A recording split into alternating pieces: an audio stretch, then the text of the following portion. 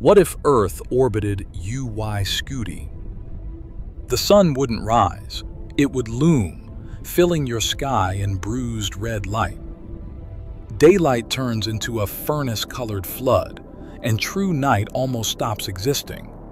The ocean starts sweating into the air, steam feeding endless superstorms, cloud towers collapsing and rebuilding like breathing lungs.